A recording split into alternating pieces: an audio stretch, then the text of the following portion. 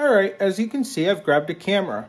And I'm actually standing in front of our makeshift budget network rack, whatever you want to call it.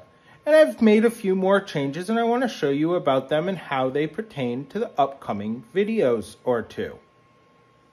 Alright, so you can see that on the left-hand side, or right-hand side rather, the budget server rack that I showed you before with the two laptops and the computer that I call the Cube. We've talked a lot about that and you can check out some of the other videos. Now here on the left, you can see we've added another shelf. You see a 3D printer and a radio and a router and a network card. Well, I've been doing some playing around with some USB pass-through and the goal is is both to be able to pass through that network card to a container and maybe even a VM, I'm not sure, or a VM or a container they can't be running at the same time, of course. But um, that 3D printer to a container, which may end up being a VM as well, just because I'm struggling a lot with getting USB pass-through working. I'd like to get it working because, well, I think everybody would like to know how to do it. The router is an upcoming project. When I find the power supply, it's still missing from our move and I plan to be mounting that in a more central location for the house for some more um, security, different segregations of network. We've talked about that in our pfSense video and a few of other videos. Um, so that's an upcoming project that I'll show you about.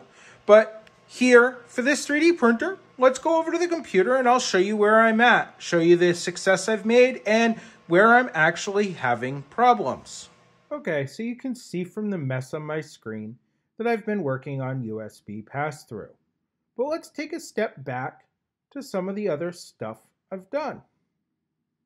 So I found a tutorial here on how to install Octoprint on a non-OctoPi installation for a Raspberry Pi. And I dissected most of this and actually was able to get it up and running in a container. So here we have a container and you can see the IP address for the container.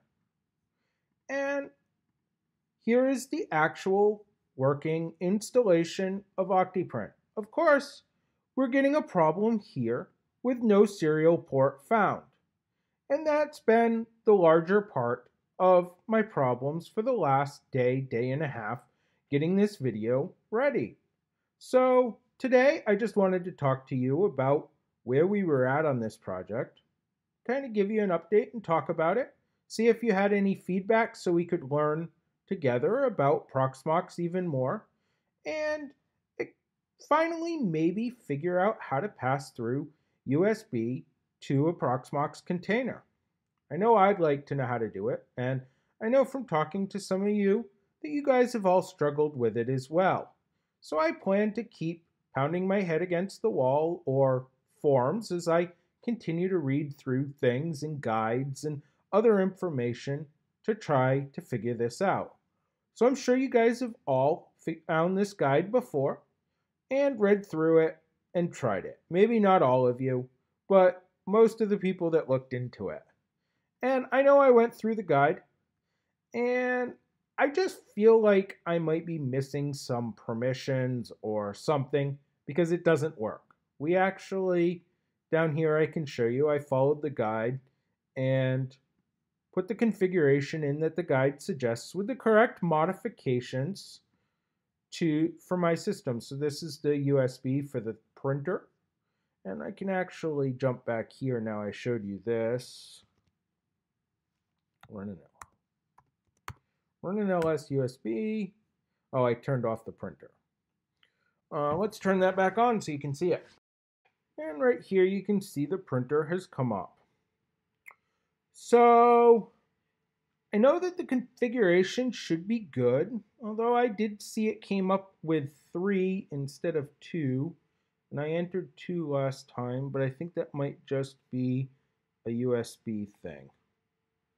Um, don't know if I got enough screenshots or not. Well, Sorry about that. But anyways, um yeah.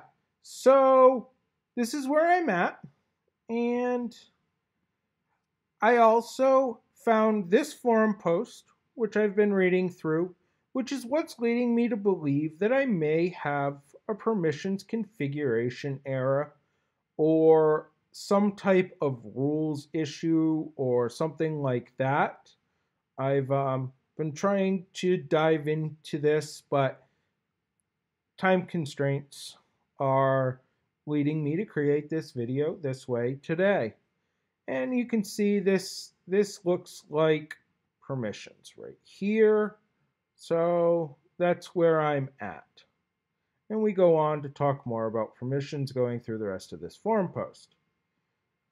Then I also found this, which looks like, and here's the line where we entered the this to get this printout, and that does look correct. Um, we go through and he talks about again more permissions here and I need to decipher this, read through it, and try to follow it in a couple of test environments to see what happens. So that's where we're at today. I hope you guys have some feedback and some information so we can learn together, um, or you have help or a guide that worked for you. I'm not entirely sure what's going on at the moment. I'll figure it out or try to figure it out and bring you a video with Octoprint in or running on a Proxmox server. If you like videos like this, please drop a comment below. Like, I'm going to take silence as meaning that you like them. But if people just find them a waste of time or annoying and just want tutorials from Virtualize Everything, that's fine too, but let me know. I like communicating more with you guys, and I have some more time now in my life to communicate more with you guys and show you what I would like to call the behind the scenes of some projects when we struggle. Not all projects are flowers and roses and work the first time. I try to bring you the highest quality tutorials that have been tested a few times to make sure they work for you. But of course, my setup may be different than yours, and there may always be problems. But my goal is to bring you setups that work and work every time for you. As always, thanks for watching and have a good night.